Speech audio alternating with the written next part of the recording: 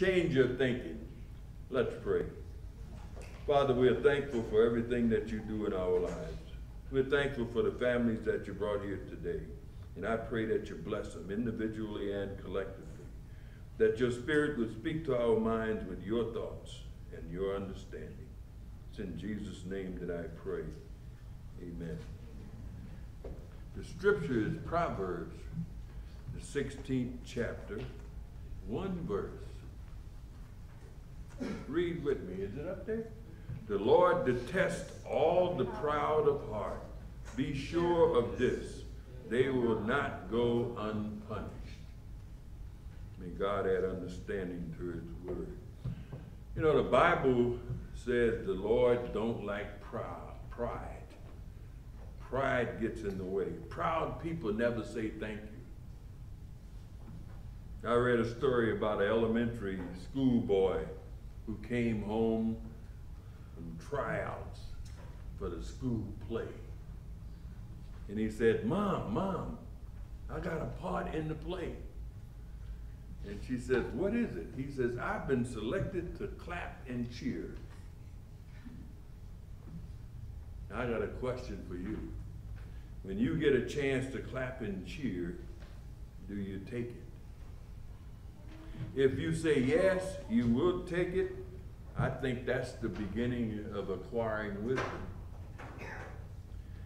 Demanding respect is like chasing a butterfly. You chase it, you'll never catch it. But if you sit still, the butterfly will light on your shoulder. And the Bible says, don't praise you. Don't toot your own Don't blow your own whistle. Let someone else do it. Be like a light bulb. A light bulb don't say I'm a light, it just shines. Someone else says it's a light. Be like that. Proverbs, the 27th chapter, 20, verse 2 let another praise you, and not your own mouth. Someone else, not your own lips. Proud people never say thank you. To change ourselves, to change anything, requires making choices. It's not enough to dream about changing, and it's not enough to want to change. We have to choose to change. Change is intentional. It's not haphazard. Are you going to be any different in six months from now? Are you going to be happier? Less in debt? Are you going to be joyful? I can answer that. Only if you choose to change. Only if you choose to change. Nothing is going to happen accidentally. Change requires a choice. And some of us are waiting for God to change us. That's the wrong answer. God is waiting for you. God is waiting for you to say, I will make these changes. There's no growth without changing. There's no change without loss. There's no loss without pain. If you're going to grow spiritually, you have to change. Don't get stuck in the middle, going the wrong way because you do not let go of old stuff. Old stuff. We all have old stuff. The Bible says, throw off your old sinful nature and the former ways of life. The sinful nature is something that baffles us because it's hard to understand. But we're born with it. Adam and Eve, the whole story. Ephesians, the fourth chapter, 22 to 24. You were taught with regards to your former way of life, that's the sin nature, to put off your old self, which is being corrupted by its deceitful desires, to be made new in the attitude of your mind, and to put on new self, created to be like God in true righteousness and holiness. Let them go. Old patterns, bad stuff. We have to let it go. And only each one of us know what's in our bags. I don't know what's in your bag. I only see you. The bag is what's in your heart. Got another reading. We are, we're doing pretty good today. Philippians, the second chapter, verses 12 through 13. You know, I think when you say the Bible says, you need to say it and show it. Hmm? We all read it. Therefore, my dear friends, as you have always obeyed, not only in my presence, but now much more in my absence, continue to work out your salvation with fear and trembling, for it is God who works in you to will and to act according to his good purposes. You know, anything, anytime Paul wrote a letter, he was writing to believers. Make sure you understand, Paul only wrote to believers. Let the Spirit renew your thoughts and your attitudes. Learning the truth, start making good choices and change the way you think. We know good from bad for the most part. The way you think determines the way you feel. The way you feel determines the way you act. If you want to change the way you act, change the way you think. It's a good one. The renewal of our mind is related to repentance. And I know repentance for some of us is a dirty word. We think it means something bad something they really don't want to do, something painful. They think if a guy is standing on of a guy standing on the street corner with a sign that says repent, the world is about to end. But I want to tell you something. Repentance has nothing to do with our behavior. It had, it's about changing our mind and learning to think differently. Repent means to make a, a mental U-turn. Stop what you're doing, go the other way. Bad stuff. Not everything. We turn from guilt to forgiveness. We turn from frustration to freedom, from darkness to light, from hatred to, and bitterness to love. And it also means changing the way we think about God. Yahweh, I am that I am. And God is not mad at you, He's mad about you. It's a difference. And we, as people, we are deeply flawed, but we are deeply loved. God loves everything about us. The hairs on our head are counted. I can't even imagine that. It's hard to get to it. Change the way you think affects emotions and behavior. Do not conform to the patterns of this world, but be transformed by the renewing of your mind. It's Paul again, Romans 12 chapter 1 and 2. Therefore I urge you, brothers, in view of God's mercy, to offer your bodies as living sacrifices, holy and pleasing to God this is your spiritual act of worship. Do not conform any longer to the patterns of this world, but be transformed by the renewing of your mind. Then you will be able to test and approve what God's will is, his good, pleasing, and perfect will. You know, verse 2 gives a blueprint to change thought patterns in our lives. Do not conform. How often do we let other people shape our lives? God don't want us to be like anyone else. God want us to be who he made us to be. Do not conform. Don't try to be like anyone else. In the Old Testament, sacrifices were made at altars. We don't have altars today. The altars we have is worship and prayer in our church family. This is how we spend time with God, offering ourselves in worship and prayer. Do not conform any longer. We develop questionable habits. Now, any longer. Stop now. Chicken. stop now, change now. There are things we start by copying what other people. Then they turn to bad habits.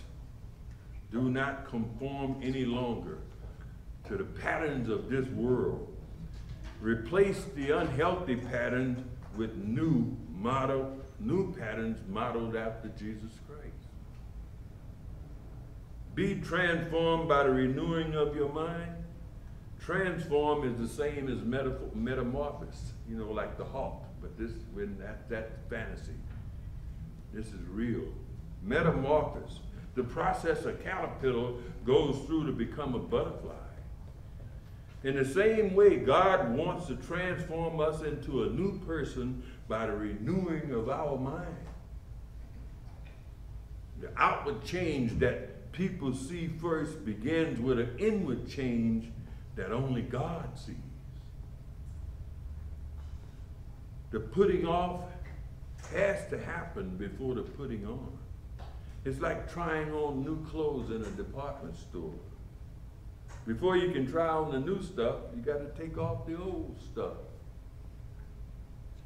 The question everyone is asking right now is when will things get back to normal? What if what if the life you know does not go back to normal? What happens if it don't go back to normal? Don't trust the media to be your gospel. If you want something to trust, read the Bible. Because everything that's happening today and in the world is in the Bible. And matter of fact, you could go to Matthew 24. We didn't put it up, but read the chapter of Matthew 24 after the, today is Sunday, first day of the week. It's the day that we should do it anyway. Read it. Everything happening is in the Bible. God put it that way. Alpha and Omega.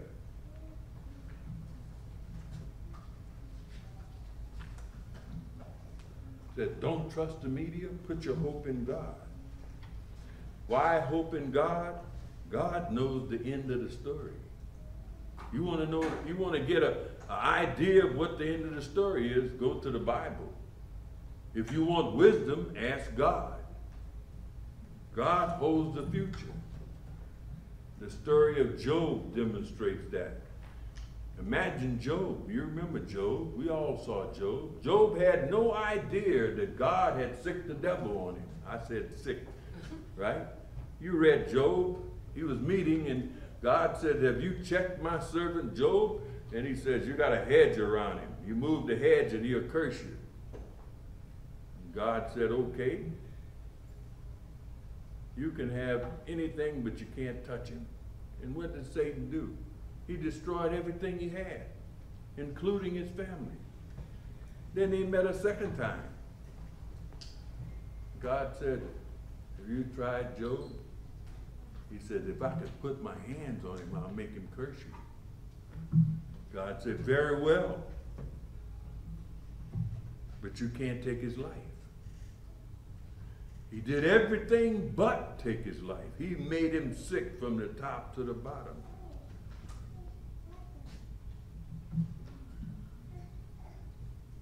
Job didn't curse God. This country is a second Israel. We put God out. And God has took the hedge from around this country. But you, you guys know that. It's already in the Bible. The end times. Man is not going to destroy the world. God will. What we're seeing now is the beginning of something that started 2,000 years ago. The end times, people started looking for at that time. Job didn't know the future either. Neither do we we can read the Bible and get an idea of what's going on. Job had no idea that God would restore everything that Satan took from him. Job trusted God. And that's our mission. to trust God. and I got a story, I got to tell it, it comes to my mind all the time. Be specific when you ask God for something. Exactly what you want. You've heard the story, and I'll tell it and then I'll be done, of the preacher who prayed for the desk, a chair, and a bicycle. Nine months passed and he had not received it, and he got upset with God. And he started whining. God don't like complaining either. it's in the Bible. God don't like it when we complain. Talk to him, but he don't want us complaining. And the preacher said, I've been asking for this stuff and I haven't got it. And the Bible says if I do, I should get it. And uh, God said to him, You know how many deaths there are in the world? It's millions. You ask for something I can't answer. You know how many bicycles there are in the world? It's millions. And the preacher says, You mean you want me to be specific when you pray? That's exactly what I want. He said, My people ask for stuff that I can't answer. So he said, I want a mahogany desk, a Schwinn bicycle, and a rolling chair. Needless to say, in less than three months, he had all of it. The girl prayed for a husband. Ten years. No husband. They asked the preacher to pray. The preacher said, How have you been praying? Ten years, no husband. What, what have you been asking God? And she says, Well, God knows. He said, That's your problem. You know how many men there are in the world? Get some paper. He said, Write down these things. What kind of man you want? Tall, short? She made a list of 10 things. Need I say? Six months she was married. He said, after she made the list, he said, Can you see this man in your imagination? She said, I can. He said, Let's order him from God. She got married. Exactly what was on the list.